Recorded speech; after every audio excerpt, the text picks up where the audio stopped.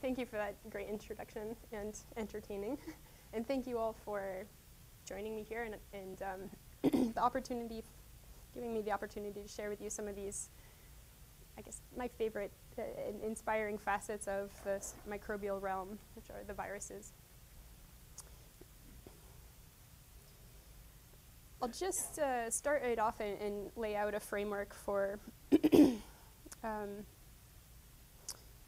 I guess giving context for the different research themes that I've been uh, focused on in the lab. So as, as you could tell from the title and the discussion up to now, the, the major focus of this talk will be my work studying viruses of aquatic microbes.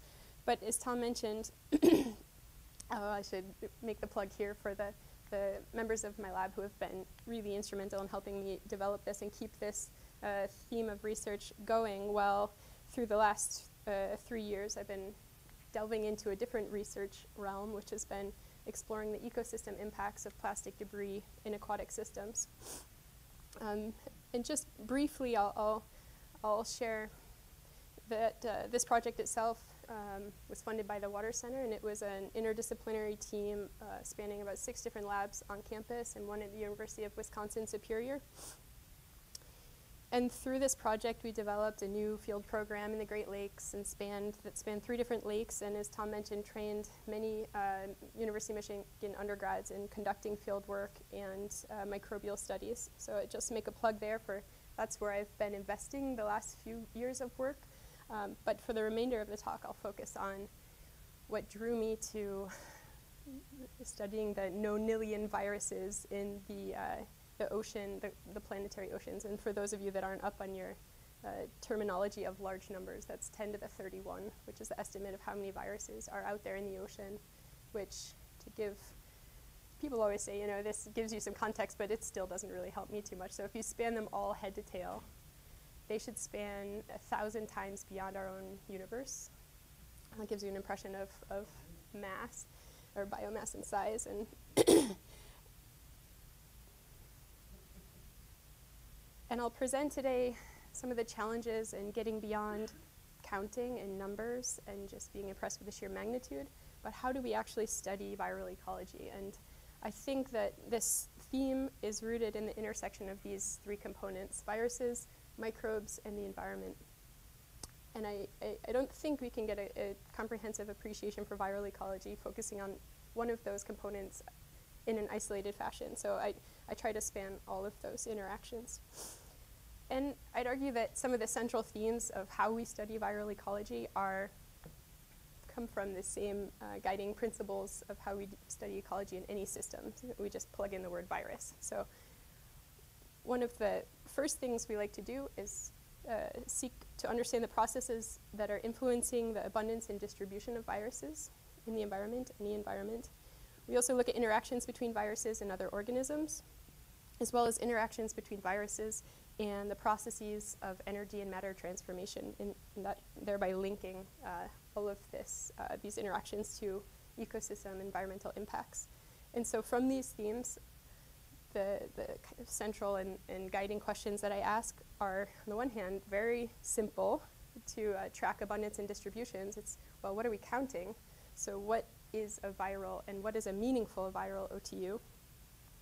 As far as interactions, I, the interaction I'm most um, involved in at the moment is the interaction between viruses and their hosts, and in particular the relationship between the respective like viral fitness and host fitness, and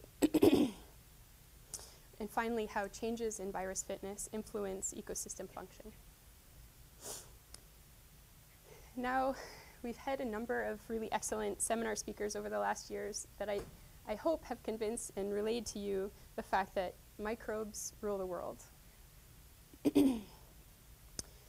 we know this from the biogeochemical perspective and that they drive uh, redox reactions that are essential for life and some of the major, the major elemental uh, cycles on a global scale. And as last year's Early Career Scientist Symposium exceptionally demonstrated, there are more studies out every day about the importance of microbiomes in understanding both the ecology and evolutionary trajectory of hosts, animals, and, and plants. And that's really gaining a lot of traction um, across all realms of ecology and biology. But what I have come to uh, be impressed by fundamentally is the way that these microbes are not autonomous agents. So here's an electron micrograph of a microbial cell that's been completely ravaged by viruses. And these yellow uh, particles streaming out are coming out of a kind of like sh shrunken, dead cell um, with pores whereby the viruses are, are oozing out and lysing, killing the cell. And so while microbes rule the world, it's really these viruses that rule the microbes. And just for a frame of reference, I'll, I'll use the term bacteriophage and phage interchangeably with viruses because of those nonillion viruses in the ocean, the vast majority of them infect microbes because of the sheer abundance of their hosts. and just a bit about what they look like. Uh, so many of you, this will be going back to Bio 101, but we have viruses with a, a thin protein capsid where the nucleic acids are, are contained, a tail, and uh, tail fibers, at the end of which are uh, receptor proteins that dock onto recognize uh, proteins on the outside of its host. DNA is injected, genomes replicate, new particles are assembled, and eventually the host lyses. So just to refresh what that process looks like and what's entailed in getting from a single virus to the, its next generation. So how do we study viral ecology? We know they're important in the uh, microbial uh, world, but how do we actually track them and study them? And I think that we can gain a lot of um, appreciation for where the field is. Tom alluded to it in his introduction, but you can see this is a timeline since bacteriophage were discovered nearly 100 years ago. There's pretty much nothing, nothing, nothing until about 25 years ago. And I'll guide you through what these landmark discoveries were in the history of uh, viral, environmental virology. Recognize that most of the work has come in the last 25 years. And also the intimate connection between technological advancements and what we were able to learn about um, the viruses and how we can track them. So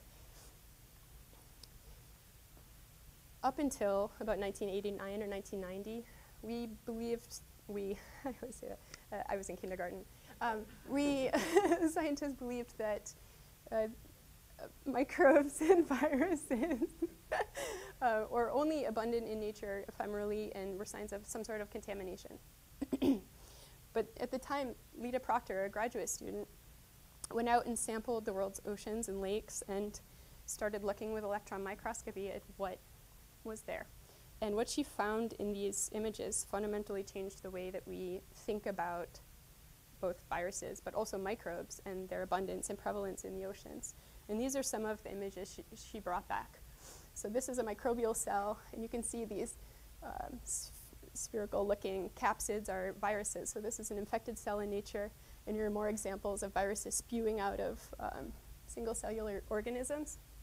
And based on these numbers, several of these images, she was able to come up with an estimate of 10 million viruses in a single drop of seawater as kind of a universal stable number. And to this day, that number hasn't changed much uh, with applying new methods for tracking and counting viruses. She could also estimate that about 70% of the microbes, or up to 70% at any given time, could be infected by viruses, which is, which is very uh, important metric, as well as uh, predicting that, considering this and the products of lysis, that there is now the existence of uh, recognition of the existence of significant new pathways for carbon and nitrogen cycling in marine food webs. And in fact, time has shown this to be supported. So here's a, um, a, a, depiction of the ocean carbon budget. And what you see when you follow the, the kind of movement of carbon between different compartments is that the greatest flux of carbon in ocean systems by two orders of magnitude is um, the lysis of plankton by viruses. And if you compare this to, for instance, the burning of fossil fuels or deforestation or deep ocean sequestration of carbon, um, that's actually the two order magnitude reference, it dwarfs those by two orders of magnitude. So this is a significant process that you can imagine anything that's tweaking this flux could be important for the way that we model and predict global scale uh, phenomena. So let's focus in what's happening in this microbial realm when viruses are infecting. So take a look at the, the primary producers up at the top there, fixing carbon through photosynthesis. That typically is going to stay, I mean, well, in a simplified view, will move on to heterotrophs or then on to grazers in the classic food chain. But once you introduce viruses and can quantify how many cells, for instance, are infected, we can start get getting at numbers of 25% uh, of that fixed carbon actually shunts through sh is shunted in what we refer to as a, a, viral shunt, and that short circuits this fixed carbon as well as other nutrients and um, uh, energy back into the microbial loop before moving on. So, yeah, it's a force to be reckoned with. And those estimates and models, again, came purely from numbers. So at the time those were developed in the late 1990s, this is what our view had evolved into of a drop of seawater. Fluor chemistry had evolved to the point that we could identify these tiny particles with a fluorescent microscope. And in a single drop of water, you could simultaneously count and relate the number of bacteria and viruses and small eukaryotes. And in a more high throughput fashion and with some like, more robust statistical um, uh, approaches or statistical power, arrive at a number that does vary. It's not linear in every environment, in every system, but uh, a ballpark of 10 viruses per every um, bacterium.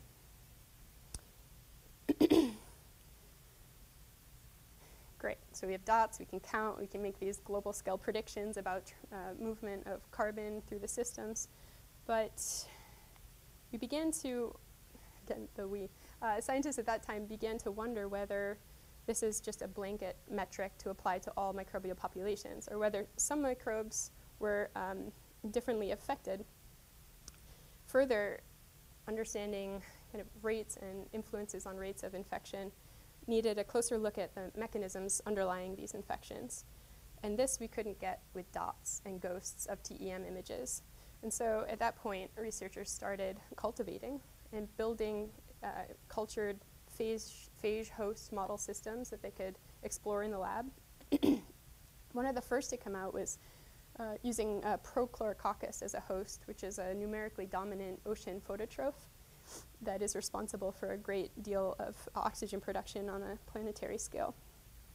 And the first study that sought to isolate those used this approach where you can grow your microbes on a, a bacterial lawn, so that's the green, drop a drop of seawater on it, and wait a week or two, and you eventually see these areas of no growth, which are incidents of a single virus landing in that spot and, and killing its host and creating what we call plaques. And from there, you can pull those viruses off and do it again, amplify your number of viruses, and have a, a nice culture of a pure clonal virus population. So, given it was 2003, the next thing to do, which we couldn't do in 1989, was to sequence this viral isolate. And in the very first cyanophage, as it's called, phage that infect cyanobacteria, to be, to be sequenced, another paradigm shifting discovery was made in that in this viral genome was a photosynthesis gene, which, okay, the host does photosynthesis. But if you just stop and think about that for a moment, the virus itself, as we discussed in the graduate meeting today, is that really alive? I would argue no, but that's to be debated at another time, or maybe it doesn't matter, which is another um, thing we arrived at. But nonetheless, the virus itself is not doing photosynthesis. What is this gene doing there? Taking a look at more viral genomes of these uh, cyanophage, uh, we began to recognize that it's not just being passively carried, and it's it's almost a universal phenomenon in almost every cyanophage that's sequenced, at least of the Prochlorococcus from the ocean, carries one of these photosynthesis genes. And so this is a conceptual model of what happens during infection. You have a virus inserting its genome, genes are transcribed, proteins translated, and you have these proteins produced, and they're not, um, the intriguing thing to discover, so this PSBA gene, which is the most widespread in cyanophage genomes, is also one of the most rapidly turned over during infection. And so that the kind of model that's uh, emerging is that viruses are relieving some of these rate limiting steps in energy production in the host during um, infection, which would then provide the mechanism for you know it, uh, increased fit fitness to viruses that are carrying those. And it turns out it's not just photosynthesis where these genes are um, popping into viral genomes. So there are uh, genes involved in uh, sulfur, nitrogen, phosphorus cycling as well that viruses carry. And if you think about the impacts of that and how that influences, for instance, rates of photosynthesis, it's important to remember uh, a quote here by Paul Falkowski that small changes in the efficiency of one pathway, especially one responsible for oxygen production on a planetary level, can alter planetary chemistry.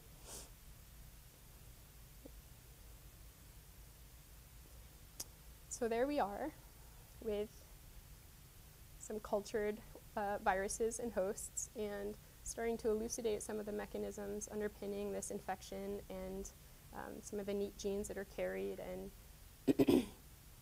but at the same time the, the, the problems are not solved with respect to getting a grasp of the functional uh, and, and functional potential and diversity of viruses in communities because still if we want a snapshot of a drop of water not just the few uh, viruses we can isolate, right? Remembering that less than 1% of the microbes on this image do we have a hope of culturing in the lab, and therefore even fewer viruses. We have a very narrow view of how we can use these culture-based methods to develop our understanding of viruses.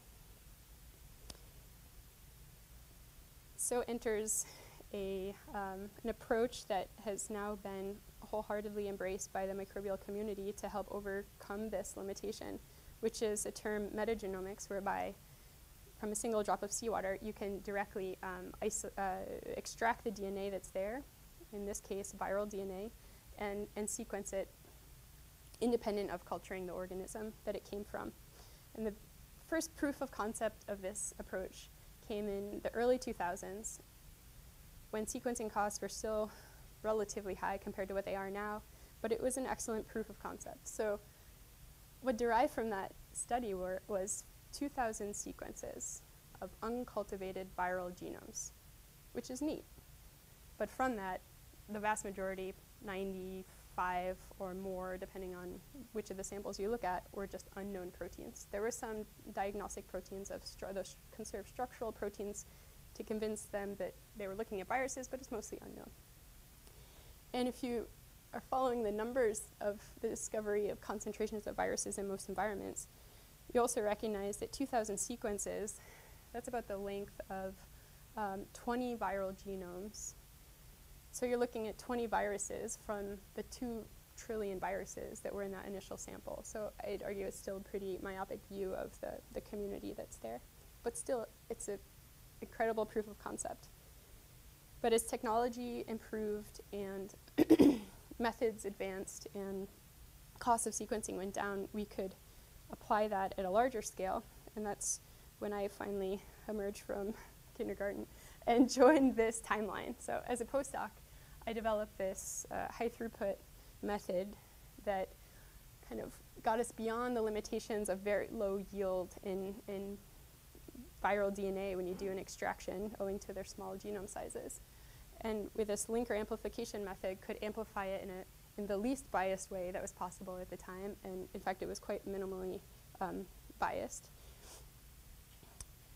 And thereby we could use that as a tool to compare diversity and uh, abundance of different genes and viruses across samples. So this is a, just a quick depiction of how we use these short reads that come off of the sequencing um, instruments we piece them together in what we call contigs, or if you're lucky, these contigs get long enough to uh, circle, circularize, um, as the viral genomes most um, often exist. And then we have what we call an environmental genome. Now this, is, this starts to get pretty exciting. We didn't need to culture this, right? So all of a sudden, we can tap into the diversity that's out there in these viral communities without culturing. And we've used this approach to explore viruses in quite diverse and extreme habitats. For instance, these viruses were pieced together, these environmental uh, virus genomes and revealed quite novel functions. For instance, highlighted here in yellow is a DSR gene, which these viruses were, were uh, these um, metagenomes were generated from uh, DNA collected at hydrothermal vents, and this DSR gene that they contain uh, is a critical, uh, encodes a critical enzyme in sulfur oxidation at these vents where, um, yeah, chemosynthesis is the driving energy production pathway. Okay, that's cool. So a novel function uh, gene carried by these viruses. But what was even more compelling and give, gave credit to the kind of power of using this environmental genome is now we have organismal context. So in addition to knowing that this gene exists in viruses, I could look at the genome and say, oh, that virus is a myovirus. We don't have it in culture, we can't look at it under the microscope, but based on the genes that are there, I know that is a virus that has a long contractile tail that does that like canonical genome injection into its host. It's kind of spring-loaded, as is this one.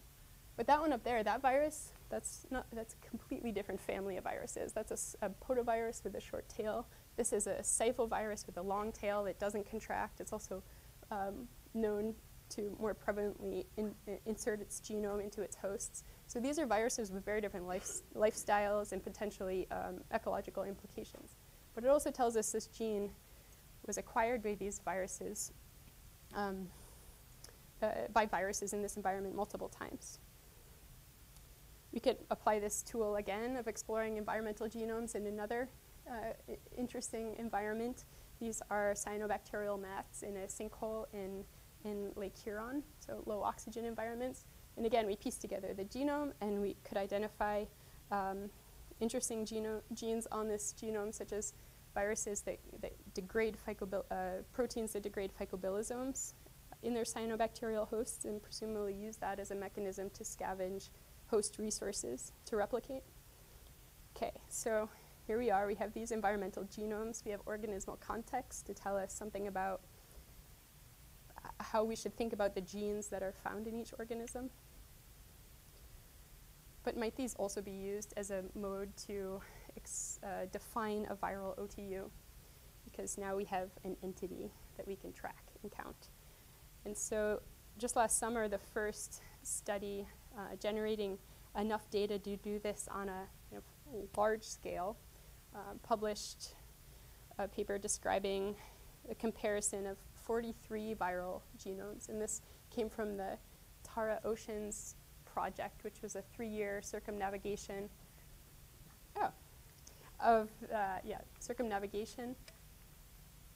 And we're about halfway through sequencing it and looking at it, describing those communities. So this was a massive data dump uh, of viral sequence data with, with deep enough sequencing that we could begin closing these uh, viral genomes and trying exploring the use of these environmental genomes to do ecology. So as I mentioned, these um, come from 43 metagenomes. I'm not sure if working. Hmm. No, not advancing. Um, using this uh, method that I helped to develop during my postdoc time.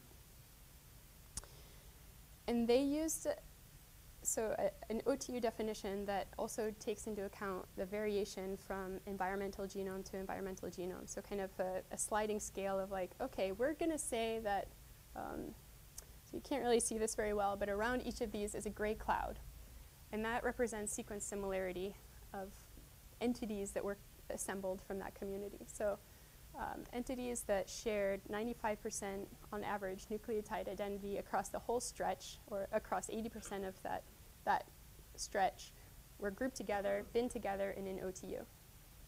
And this number derives from some of the metrics that we have from microbial uh, species uh, similarity within microbial species definition. So it's not completely arbitrary, but they didn't you know, have much else to go with. So this is what they applied. And I'd argue they were able to do some viral ecology. They could track the abundance and presence of OTUs across this data set. And this might be one of my favorite um, figures that have come out of that has come out of viral ecology in the last years. What this represents is each of these dots is one of those environmental genomes that they recovered. And there's a compelling trend here that we see in other systems and with other organisms as well. There's a spectrum. So here the bottom represents how many stations this dot was found in, this environmental genome, from 0 up to 24, and the abundance. And so what they found is that most of the viruses are rare, and a few are quite ubiquitous across the globe.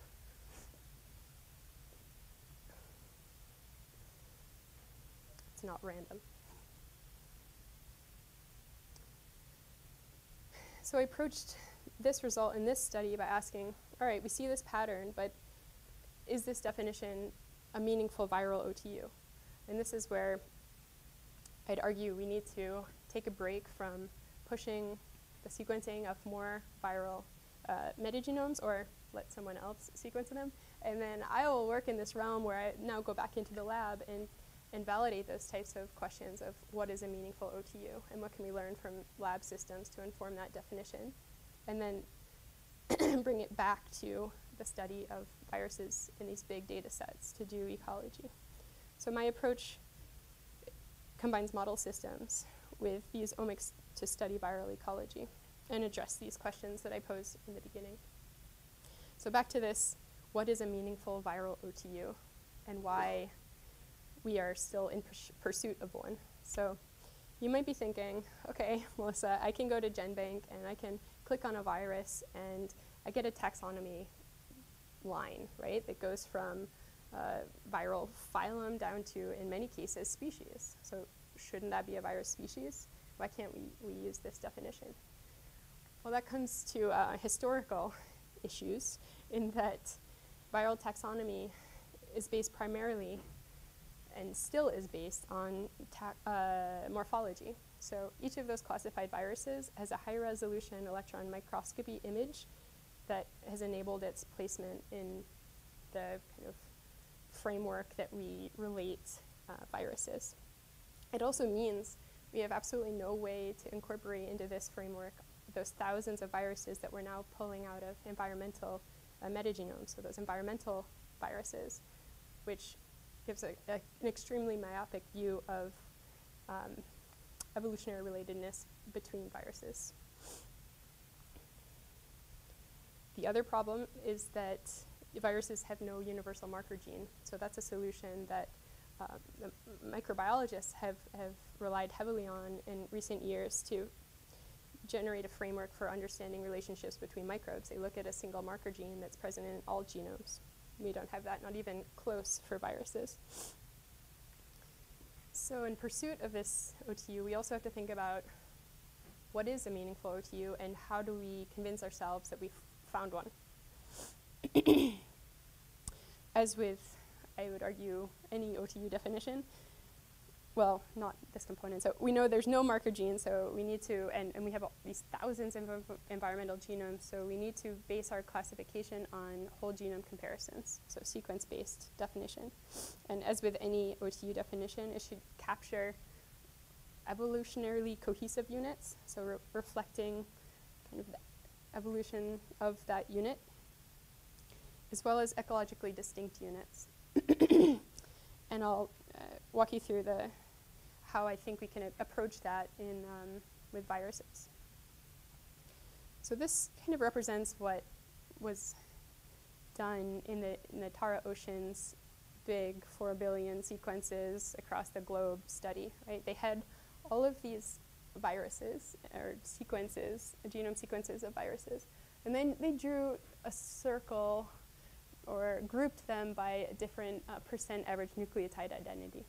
And as I mentioned, they used this 95% cutoff, but it could have been 100, it could have been down to 40, it could have been anything. It's pretty arbitrary. But the manner by which we can test whether this is meaningful in light of the viral niche um, is what needs to happen next. And in this case, what I uh, use to represent the niche of the viruses is its host. And so in this next slide here, the niche is represented by different hosts, so a blue host and a yellow host. And the way we think about or can think about here viral fitness is the burst size, so how many viruses are produced in each generation. And in this model, we have a, a high burst size, so many viruses up there at the top. Um, the gray scale on this is pretty horrible. I don't know if you can see the other images, but there are some cells with low burst size. This one has only two, but on the same host or in the same niche. And what you see uh, based on a, a 40% cutoff is that all of these are grouped into one OTU. But a problem arises here in that the viruses of defined OTUs, so this 40% definition, within the same niche have different fitnesses. So that means, you know, let's look at this niche and these viruses we've said are all belong to one OTU, but some produce five and some produce two, and this one doesn't even have a possibility. There is no infection, so I'd argue in this niche they have a spectrum of fitnesses. And if we ask the question now using the, the 95% cutoff, a different story emerges. So you have three different OTUs now based on their similarity. And now um, the viruses of these defined OTUs are show niche-specific differences in fitness. So within the blue host, you have high fitness of OTU1, and you'll just have to believe me, but high fitness of OTU um, 3 in the, in the orange. And we've captured those with our 95% cutoff in this case. So now I'm going to try this in the lab.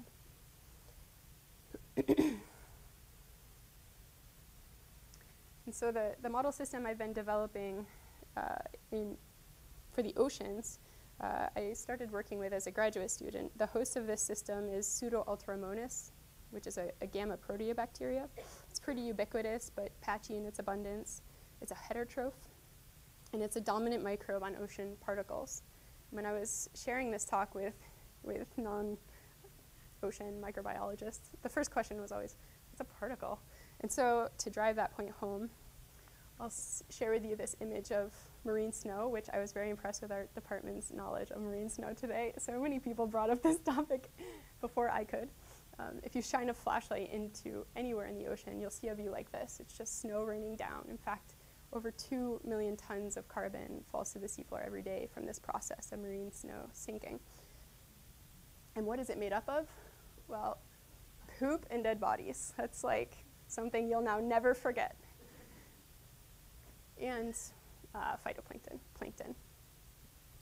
And this system that I develop is um, so it's known to be a dominant microbe on, on these particles. And they're specially, um, they have these special appendages to help them stick to particles. Uh, they form biofilms. They're capable of complex carbon degradation, so they like to eat up the juicy things that are either the particles are comprised of or that their buddies around them are producing. They're also, so in, in, microbiology, a kind of dichotomy has ar arisen uh, describing the lifestyles of different microbes. So Pseudo-Ultramonas, it's very clear to be a, a, boom bust R strategist, and you can pull upon your, your versus R strategist thinking that you apply to larger systems as well. It responds quickly to changes in nutrient concentrations, but it's able to persist for long stretches of starvation until they find that juicy piece of carbon to munch on. And it can degrade complex carbon. And it's important to note that of the model systems that are out there to explore viral ecology, um, there are three others. And uh, two of them are uh, the, the, prototypical case strategist. And so um, I'd argue that my, my system is quite valuable, valuable in offering insights into modes of existence and impacts of viral infections of this other alternate um, lifestyle host. So in an effort to um, test whether or not this 95% cutoff was meaningful, I looked at eight different viral genomes across um, and, and what I did was just a simple pairwise pairwise comparison and looked for similarity between the genomes. So here are the viral viruses. Those are our viral names. Mine are highlighted in bold. The rest are other viruses that infect Pseudo-Ultramonas. And when you do this comparison, you have high similarity meeting that 95% cutoff. And you can group uh, create five groups. So those are five different OTUs. And I called them so respectively. and now went in to test whether or how infection phenotypes map to these phage genotypes and whether these OTUs capture the niche-specific differences in fitness that I uh, presented in the model. So I used a host range to answer who infects whom to get that uh, needed information. And again, these are the plaques that are generated when you add viruses to a bacterial lawn. And then to measure fitness, I use a metric of infection efficiency, where you track the number of viruses that are produced after combining virus with host, you can see, okay, da, da, da, 60, 80 minutes, boom. Now my culture is full of viruses. I know there was just the first burst of viruses, first generation. I can track how many are produced per cell, as well as how long that takes. and so the results of the host range analysis, here on the right are the viruses, and here on the bottom are the hosts. And where they intersect with color represents a positive infection. And so you can see those colors group the OTUs we've defined. and you can see that the members within each OTU, in fact, have the same host range. So are occupying the same niche in this subset. And the color represents how many viruses were produced. And I'll depict that here. So if we just look at three of the OTUs, one of which represents uh, two viruses, which um, I would love to re repeat this experiment with like an order of magnitude more viruses in host, but it's an extremely time and, and personnel exhaustive process, but we'll see what happens in the future. Um, so look at this OTU2 where two viruses are represented, and when infecting two different hosts, so occupying two different niches, they preserve their kind of infection efficiency within those niches or within that host. So they have the same fitness within respective niches. So I'd argue that this was supporting that 95% cutoff, at least in the, the system that I have in, in my hands.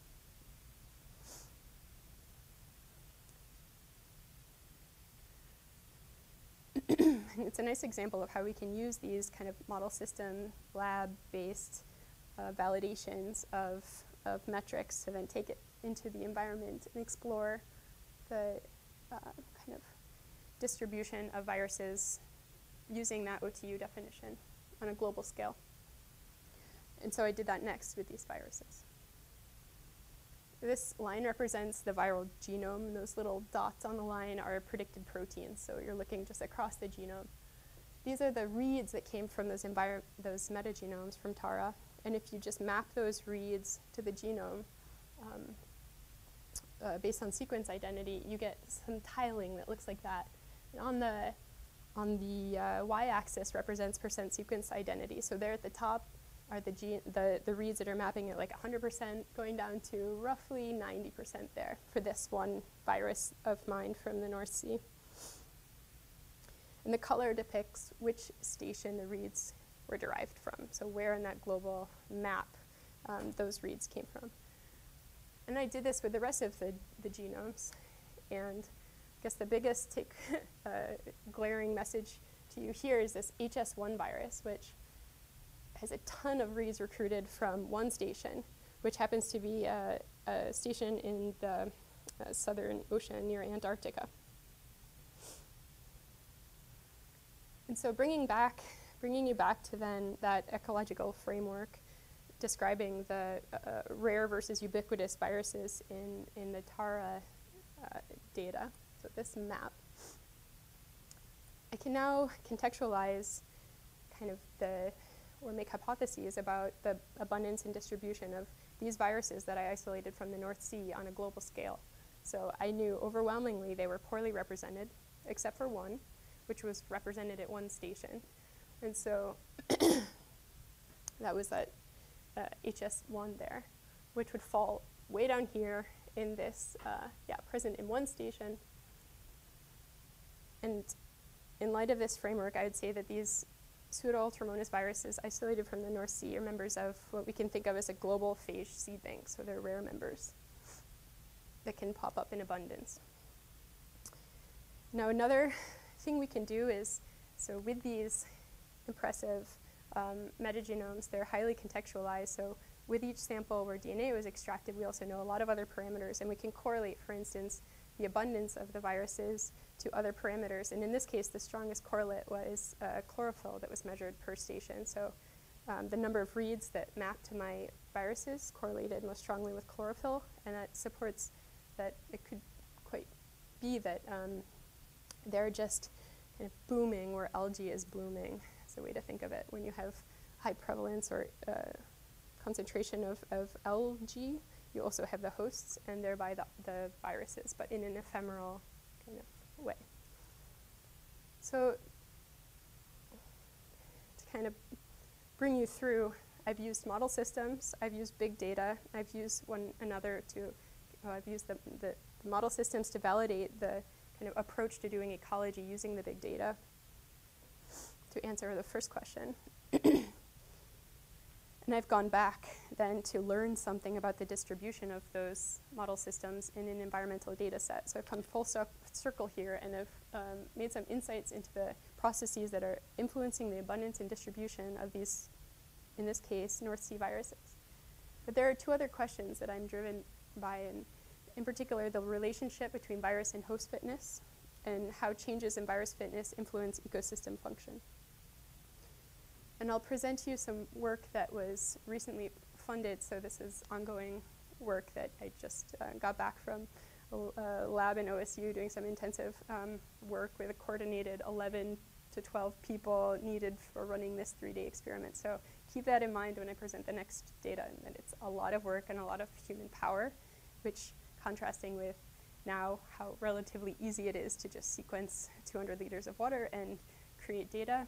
This is very expensive in, in another way, but I would argue is um, more valuable. so back to our framework, and these two other questions will help us eventually, I believe, to integrate knowledge of viruses into kind of Earth system models. And in idealized fashion, I, I think that in my lifetime will be able to directly use this omics data in these predictive Earth system models, but it will need a lot of kind of iterative validation as I do.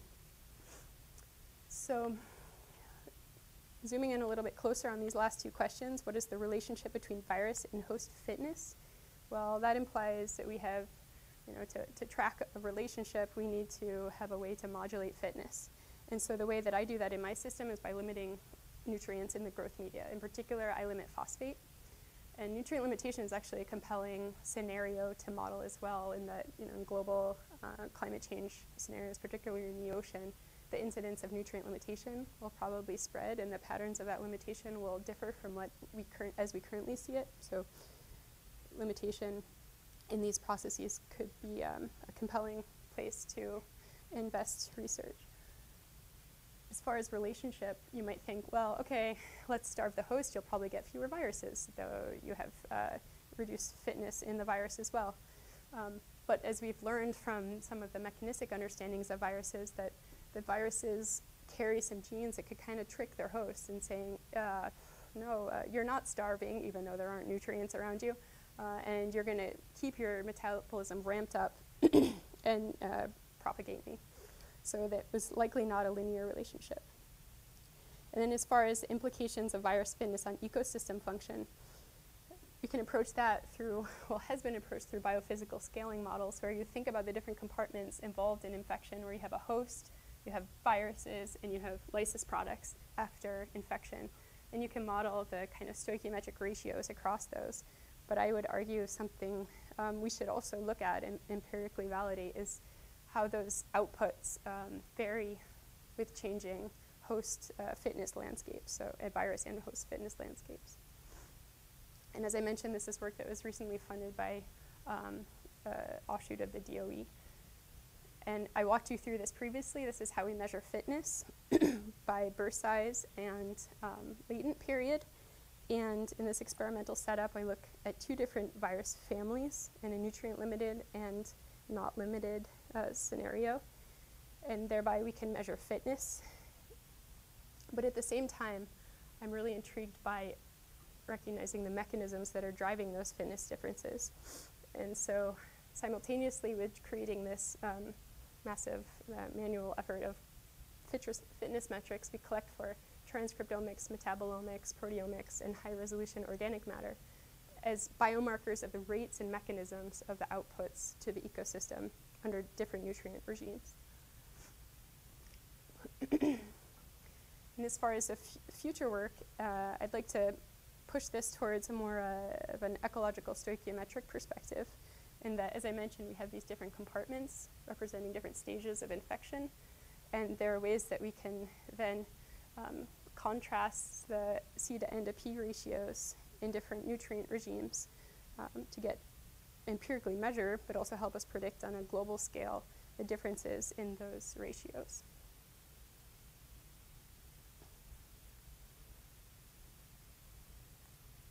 Animation fail. and inform global Earth system models. And so that brings me back to, again, the, the guiding central themes and the questions that I strive to answer in my pursuit of elucidating all of the unknowns of viral ecology. And thank you for listening. And thank you to this excellent team of uh, researchers that I've been extremely fortunate to work with in the last four years in both the, the virus and the plastic realm, as well as many um, uh, great mentors on campus. So thank you.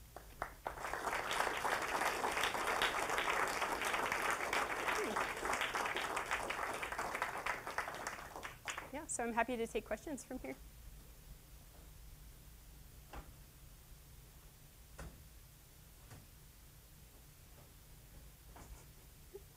Yes, Tom? Uh, so in defining these uh, OTUs, one of your first questions, you, are using a measure of the whole genome similarity for uh, a majority of the viral genome. Is that, is that right? Yeah, it's 80% yeah. cutoff, yeah. Would it, given that these genes move around, would, would it, considered the possibility of making the OTUs defined on, for instance, for the cyanophage, which uh, photosynthetic gene they carry? So even though they might have different backgrounds, they might have a similar impact on the cyanobacterial world because they are carrying the same gene. right. would, would, it be useful to think about like a system or population-specific metric for yeah. OTU to yeah. track? I think that would it would uh, definitely be useful, though. It's still a, not a, a, scenario that every cyanophage has this gene. So I think you could do it in the context of the related units that that exist. Yeah. But, um, but, but there, it's remarkable how, uh, how far that we are from having a universal gene carried by even viruses of the same I gene. Right. No, no, no, no, there isn't. No, yeah. absolutely isn't. So um, it's just finding this cloud around which to draw around genomes to say, okay, this is a unit that's ecologically relevant. And yeah. I have other Yeah, ideas for how to do that. Maybe maybe that would be ecological relevance if they carried uh, photosynthetic Right, I see what you mean. Yeah, so this, then you so have to think about, um, So not evolutionarily uh, coherent Mhm. group, but ecologically. Yep, uh, yeah, or uh, ecosystem-wise in, in a way, because you could have uh, multiple viruses in fact uh, occupying the same niche, but you don't have a way to recognize that. And so um, does it matter that they have a photosynthesis gene or not? Maybe it doesn't if the fitness is the same in the same niche. So I think there's a, a lot of complicating factors there. Yeah, we go. Uh, so you talked about how important technology is with driving forward this work. Um, are some of the other omics approaches going to bring those into the challenges that you're talking about with proteomics and that Right. Um, I would say not without some system rooted grounding. Um, one thing you could think about is some more eloquent ways to link a viral environmental genome with a host in silico and then quantify that. Effectively, you'd have the same way to monitor niche space occupied and fitness but it's tricky because when you capture those viruses, you won't necessarily be capturing them during an infection, but there might be ways that you could track that. For instance, I was also developing, as a postdoc, uh, an application of uh, FISH, the fluorescence in situ hybridization, where you can say, okay, I'm going to target this virus gene in this cell, And at the same time, I'm going to do a 16S RNA fish and say, okay, now I know who the host is. I localize those signals that are different color, and I say, oh, the virus I was hunting infects this host. If you have a quantitative way then to track how many viruses in a given cell there are, so how many copies of that viral target are in that cell that I've identified the host, I know the niche, and I know the fitness, then you could start doing that in the environment. And the cool thing about that is, um, as part of a funded DOE project, we're working with uh, people at, at um, PNNL to do to use their super resolution microscope to look at the space fish method. And so, with this super resolution scope, you can bypass the card step of fish, which is the catalyzed reporter deposition, and effectively makes fish non-quantitative. But if you can bypass it, then you have this linear relationship between number of molecules of your target and the signal intensity. And so I think we might be able to do that in the next year. So it will be a quantitative way to track how many viruses are in a cell, and you can also identify what cell that is without having the culture either. But it's not necessarily big data omics, but it's, um, it's using sequence sequences as your target. Yeah. Deborah. So these are very naive about the, I'm really intrigued by the, the geometry that, that's being able to connect the virus dynamics to these ecosystem processes through stoichiometry. What are the uh, ranges of stoichiometric ratios for different viruses? How do they know We don't- to relate to host? All we have is what's um, arrived to by modeling. Okay. with biophysical, like tracking where we can predict elements to be based on uh, ratios of proteins to nucleic acids. This hasn't been empirically tested at all. we need a synchrotron.